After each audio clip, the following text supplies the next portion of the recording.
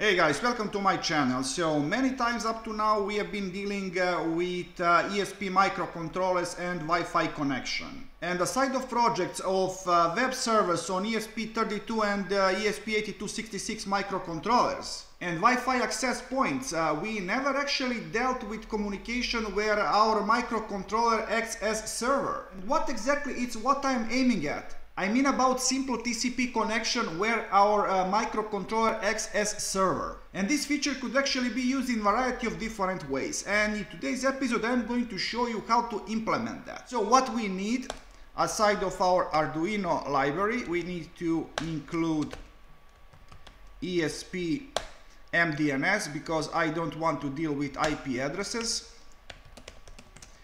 Then include Wi-Fi then we are going to need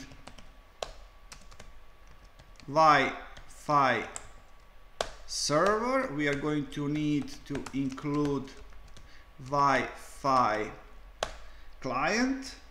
And that's all. Now I need to define two variables. SSID with empty string and pass for password also empty string. In here you're going to put uh, credentials for your uh, Wi-Fi. And for this example you could also use uh, a soft access point but I'm going to connect to my already existing Wi-Fi. And these credentials I'm going to type later on. And in our void setup first we are going to initialize our serial monitor.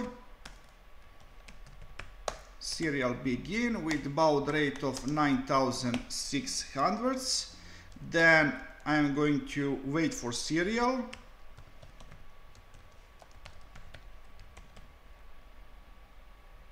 while not serial we don't need this dot.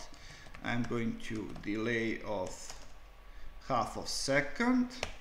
Then we are going to set our Wi-Fi mode to Wi-Fi underscore STA then Wi-Fi begin. I'm going to provide SSID and password. Now we are going to check for status of our Wi-Fi if no actually while you could use if too but I'm going to go with while. Wi-Fi dot status. It's not WL connected.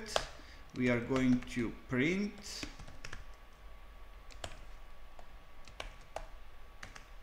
Asterisk and I'm going to delay of half of second too. Immediately after we establish connection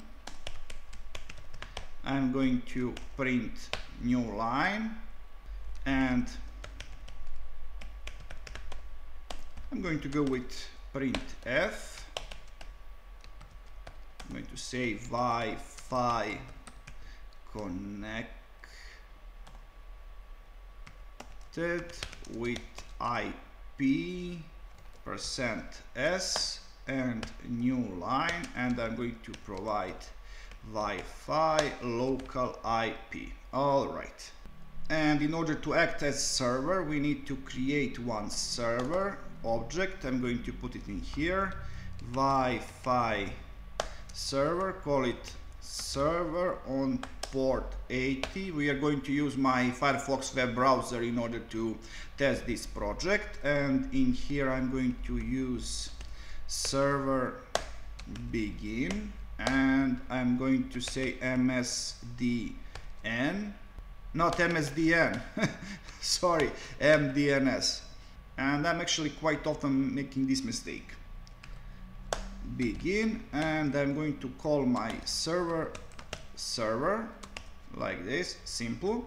And in our void loop I'm going to create Wi-Fi client call it client and I'm going to get my client from server available. So whenever some client connects to our microcontroller out of uh, server object, we are going to create client object. Okay, and we are going to print something to that client. Client print ln something simple like hi there, new line, nice to meet you.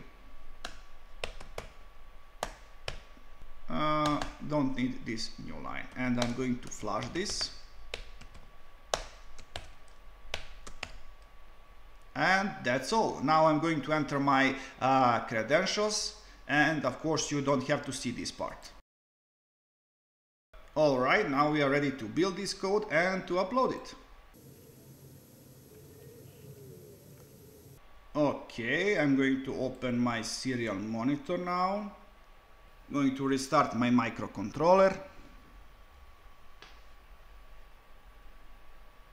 Aha, uh, in here I'm not getting a proper IP because uh, function printf actually uh, demands a char array for ASCII. Uh, so what I'm going to do, I'm just going to solve that really, really quickly. Okay. I'm going to change from printf to print and in here serial print ln and now wi-fi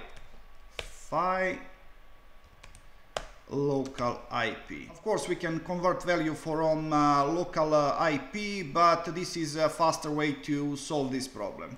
Let's do it again.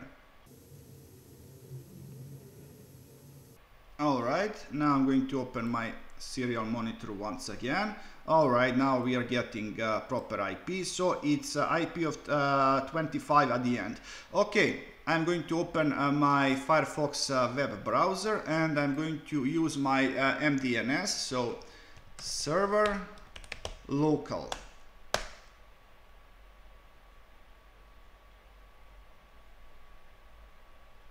Alright works just fine. So guys, that's all for this episode. I hope that you learned something new, something interesting. So please like, subscribe and see ya!